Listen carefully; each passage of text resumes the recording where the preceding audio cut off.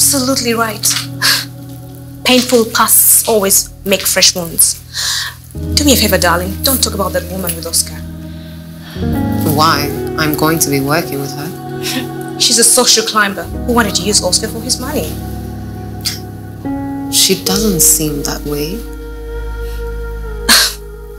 You don't know anything about her.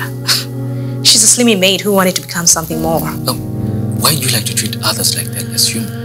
I treat less humans like less humans. Just the mention of her name has spoiled my mood.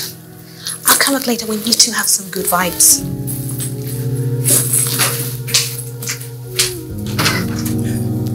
Please don't let whatever you've heard affect your work with Don't worry. I won't be letting anything come between me and my work, not even Sanyu.